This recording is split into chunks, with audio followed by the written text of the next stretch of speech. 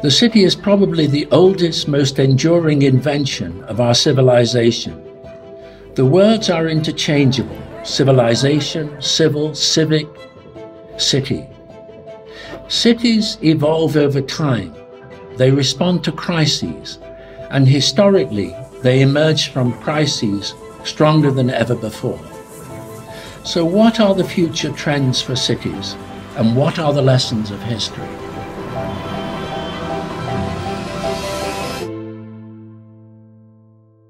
My name is Theresa Williamson, and I'm Executive Director of Catalytic Communities. Uh, I'll be speaking today about valuing informality, designing for global development, uh, how we can value informal settlements, favelas around the world, and integrate them on their own terms into our urban planning practices.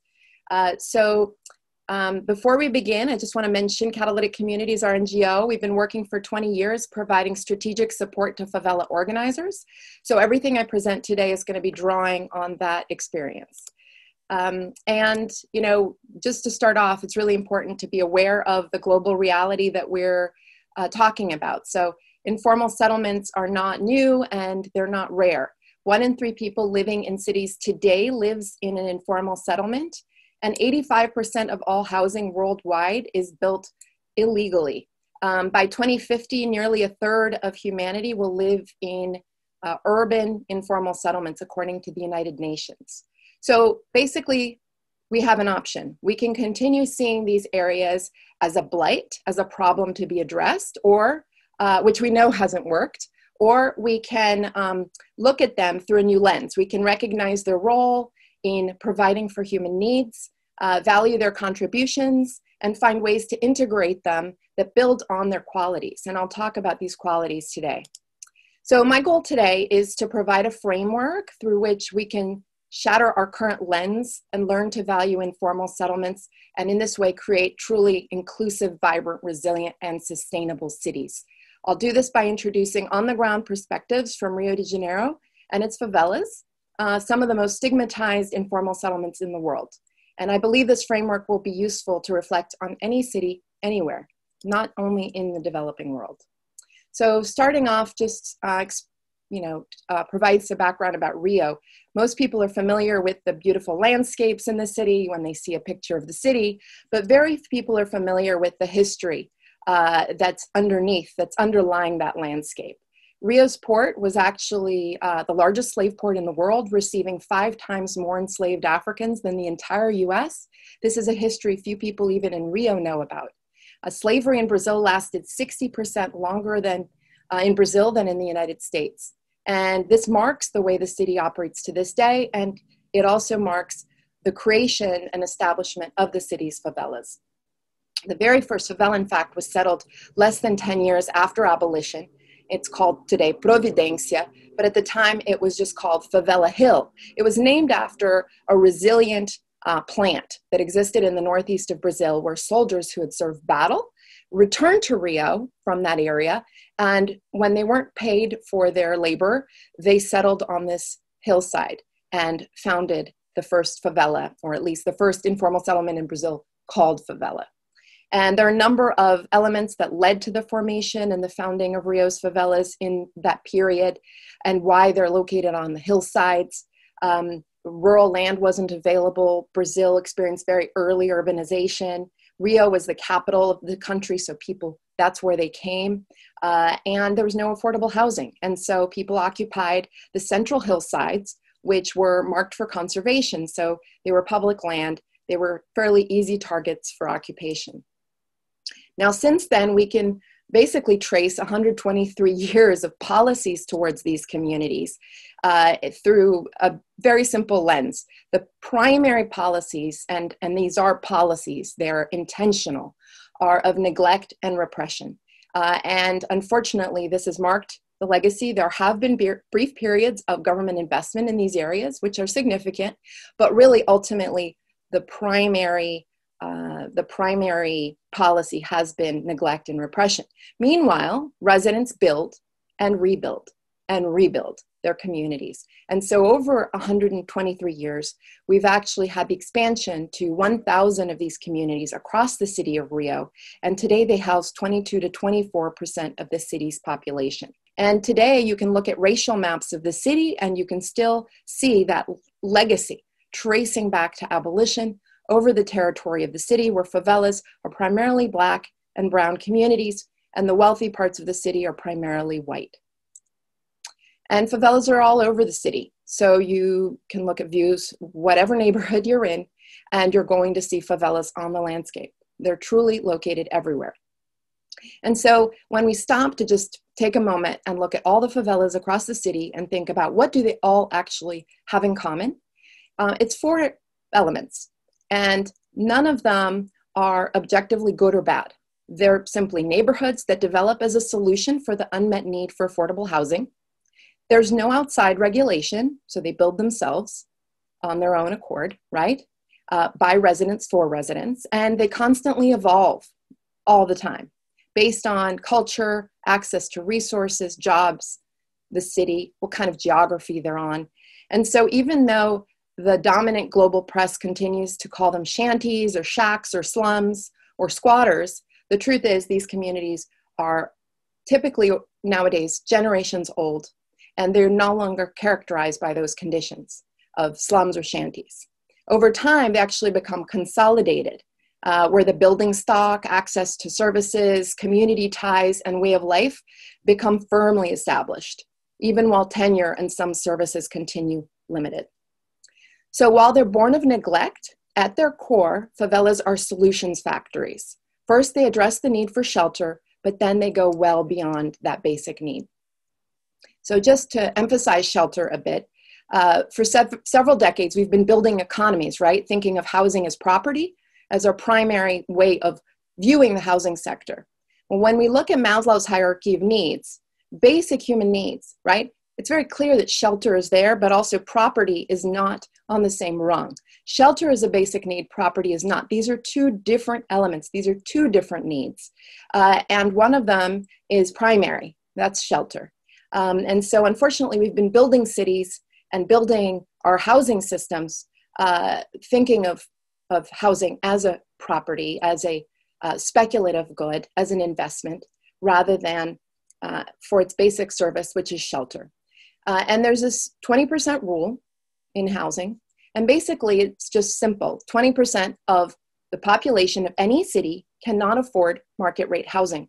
It's just because of the nature of housing because of the, na- the costs associated with land and construction, uh, the market won't provide housing to the lowest income residents of any city. And so, since we're talking about a very basic need that's being met primarily through housing, uh, we have to find ways of addressing that need. In developed contexts, typically, uh, but not always, there are plenty of tent cities in American cities, for example, uh, but in developed contexts, typically it's through public sector housing, social rent, different kinds of regulations and subsidies. Uh, it can also be nonprofits through cooperatives, community land trusts. But in the uh, developing world, that need is met through informal settlements. So, informal settlements are basically just there to provide for this basic need of shelter. That's their primary uh, function. And it's not a coincidence that 22 to 24% of Rio's population lives in these sorts of environments. Now, as an urban planner, I've come to appreciate a host of qualities that these communities have uh, as they develop, that they, they, they sort of naturally develop. Um, in Rio's case, they're in central areas, they're affordable housing throughout the city's landscape, uh, that's responsive architecture that's built around need, um, there's low social isolation due to the built environment and other factors. They're pedestrian centered. They're uh, in the absence of organized crime and, and, and other pressures, they're actually quite safe for kids because there are no cars, no strangers around. You know, they have employment nearby, support networks, cultural incubation. So there's a number of qualities that we're trying to build into cities that favelas uh, have and at the same time, you know, you can dig into any of these. You can talk about the entrepreneurship, the economy. A 2014 study before the current economic recession found that favela wages had actually increased more than the national average. and that favelas had more middle class residents than Brazil as a whole. It also found that 94% of favela residents at the time felt that they were happy, considered themselves happy, and 66% wouldn't leave their communities, and 62% were proud to live there. Uh, there have been comparisons of favelas by architects to LEED neighborhood development sites to find that there actually can be more sustainable on those terms. Um, there's a favela in Rio that has developed its own sewage system to address the, the sanitation issue uh, in the absence of government investment. Um, there's a whole network of favelas working towards sustainable development in Rio called the Sustainable Favela Network, which our organization manages. Uh, there are communities that have done massive cleanup operations. In this case, in Vidigal, uh, community park was built on a site where there had been 14 tons of garbage uh, that was cleaned up by residents. Cultural production, think about culture coming out of Brazil. The vast majority of culture associated with Rio comes from or is developed in and strengthened and maintained in the city's favelas. And there are now 26 favela museums and memory projects across Rio. So this just goes to show the, the, the history these communities have now established uh, and their desire to preserve that history and build on that history. Now, if we take a moment to look at favelas and compare favelas to the formal city of Rio, we find that actually informality is not the absence of formality. And this is really important to note because governments often come in and say, we're going to formalize the informal, we're going to bring in the formal services. Uh, but it's important for us to know that these are actually different ways of life, and there are some qualities in each. And we need to make informed decisions, and communities in particular need to make informed decisions about what elements they want to include. This is especially important in established, consolidated informal settlements where people have over generations established a way of life that has much value.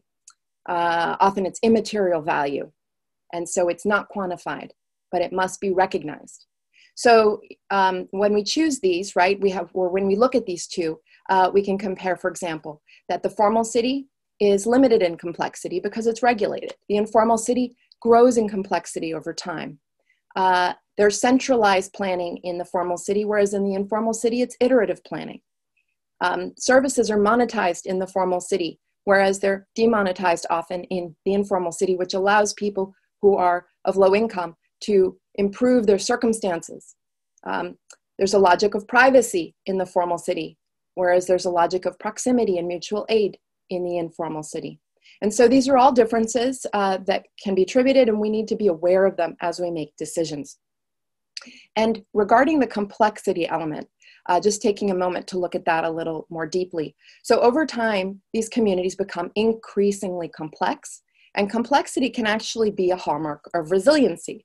So, if we think about natural systems, right, this is um, an image from David Krakauer of the Santa Fe Institute that studies complexity, uh, you know, showing that in natural systems, as you increase randomness, um, you know, different uh, elements, increasing elements, you actually get systems, like an ecosystem, that are incredibly diverse and resilient, um, that are of great value. You're characterized by glowing, growing complexity. However, you can get to a point where there's too much uh, chaos essentially in the system.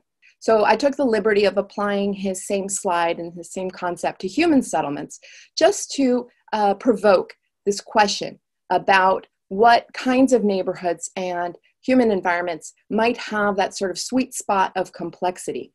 So, could it be that those favelas that reach a sweet spot of complexity and are the, then able to solidify their qualities without escalating into some sort of dysfunction can hold the keys to vibrant and sustainable urbanization?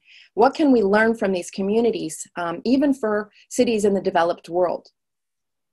So, I'm going to show now some images of favelas and different levels of development, different environments across the city, different amounts of investment by government or lack of investment by government, um, levels of public services, uh, and also very clearly always the community life and the nuanced and, and diverse types of architecture uh, that can arise. This final slide says favela residents are not at fault. So favelas whose residents take advantage of the qualities of informality, realizing their own creative improvements, but also fight for access to services and rights, appear to make the greatest inroads over time. This image now is of Providencia today, the first favela founded 123 years ago. This is a boy whose painting was uh, painted, produced on the wall of a house in the community. Now, that community was uh, one that was targeted for evictions uh, nearly a decade ago. And a community photographer, he took photographs of residents and he plastered them on the walls of their homes that were marked for eviction. And he actually was able, they were able to stop the process of evictions in that section of the community through this public act. Now, I'd like to talk a little bit about different kinds of development, how government views informal settlements or low income neighborhoods anywhere really in the world versus how we could look at them differently and actually produce the kinds of changes and improvements that support residents and allow them to better their lives while recognizing and building on everything that they have achieved. Uh, so typical government programs, for example, they think about community deficiencies, but what's called asset-based community development or ABCD looks at community assets. So community assets are actually a springboard from which you address the deficiencies, the issues, the challenges. So rather than looking at informal settlements or low income communities as places deserving of charity or a favor, uh, we look at them as places uh, with the right to investment and the right to basic services. Um, rather than experts coming in with their knowledge, uh, we actually see communities as the experts, and we think of technical allies, people who come from outside and provide different types of technical support to local organizers. And so you can go down this list and you can understand that actually the way we do development typically is very different from the way the communities actually need and that build on their qualities. And the big problem is if we don't learn to build on communities' qualities, then we lose them in the process of development. So we see this very clearly in the pre-Olympic buildup in Rio. Um, Vila Autódromo is a community that was evicted uh, in the period preceding the Olympics almost entirely. Um, you can see an image of the community as it stood. It was fairly consolidated. It was safe. Uh, the roads were wide. It wouldn't have been difficult to upgrade and improve and, and essentially finalize, bring it up to standard. However, the city decided to evict residents, in some cases forcefully, and in the end, a few residents, 20 families, were able to stay in a community originally of 700 at a huge cost to the city. Um, and this is a community where, because we don't see favelas for their assets, we wiped out an entire neighborhood that had young people going to university, strong networks of solidarity, people near their jobs, kids in school. Uh, you know, basically, it was a very well functioning favela. Uh, this next slide shows what was happening at the time. Besides Vila Autódromo, 80,000 people were evicted from their homes across primarily consolidated favelas. Um, and that's again because we don't see the qualities in these communities, so we wipe them out. And this image also shows the uh, gentrification that was happening in the pre-Olympic per period. So we actually had two pressure points for these communities. We had government evicting some, and we had the speculative market evicting others. And so ask the question, if favelas are all bad, then why do you see processes of gentrification? Why were middle class people buying homes in some favelas and feeling comfortable doing so? Why were uh, outside investors buying up areas at the top of favelas where people had to go all the way through the community to access a hotel or a bar. Um, so these communities are not, it's very problematic the fact that we don't look at them individually and we don't get close and we don't take the time to understand what they have going for them and build from there. Uh, one way to realize the potential of consolidated favelas is through um, through an asset-based community development approach is the favela community land trust. So we have taken in rio as our model the case of the caño martin peña in puerto rico. Uh, this is a place where a, a, set of eight favelas informal settlements where they opted for uh, titling the land collectively through a community land trust and individually giving homeowners ownership of their homes. And this has allowed the community to formalize in a way that maintains community assets because communities can continue to improve um, collectively. They can build the maintain the solidarity networks. Uh, they can um, uh, they are in control of their development, but also gives people uh, the right to stay. It ensures that people can stay, that they have control over their homes. It's a very pragmatic solution that enables favela residents to establish themselves formally while maintaining their autonomy and the qualities established through informality. Uh, so favela CLTs put an end to forced displacement, whether by government or speculative development, and they empower communities to make improvements as collective landowners, whether on their own or through advocacy for public investment. So, in conclusion, let's drop the double standards. Uh, we talk about tactical urbanism. Uh, but what about when low income people do tactical urbanism? Informal settlements are essentially immense examples of tactical urbanism. It's trendy when the elite in the global north do it, but when people do this uh, in the global south in, or in areas uh, of, of, of, resource scarcity, we treat it differently.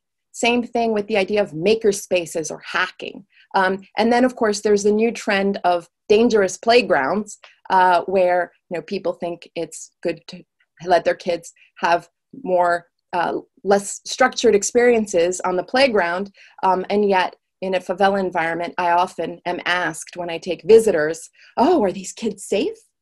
Gosh, they're running around by themselves. Well, they know everybody. There are no cars. Uh, so I think we need to really recalibrate the way we think about these communities. Look at Habitat 67, for example. Uh, it's known for its interlocking forms, connected walkways, and landscape terraces, uh, right? And this idea of density. Well, what does it look like? It looks like a favela. Or as my daughter said, it's a fake favela without culture and color. so it's this idea of why do we appropriate why do we appropriate images why do we uh, look at different communities at these communities through one lens and then look at others through a different lens. Valparaiso and many unesco world heritage sites uh, they're commended for their vernacular urban fabric adapted to the hillsides or the, fight, the, the fact that they're sites based on improvised urban design and unique architecture. Uh, why aren't favelas uh, recognized for their qualities? So these are two images of a favela in Rio and Santorini, and the same in this picture. So the question really is, what if we recalibrate, think differently, and approach these sorts of settlements in a totally different way? What if Rio embraced the unique history of each of the city's favelas, recognized their contribution to the city, and supported their future development in ways that honored resident knowledge, and history. What if we invested in decentralized planning where communities control their destiny and technical allies support their vision? And finally, what if Rio set an example for the world, realizing community led integration rooted in community assets and benefiting from the qualities of informality?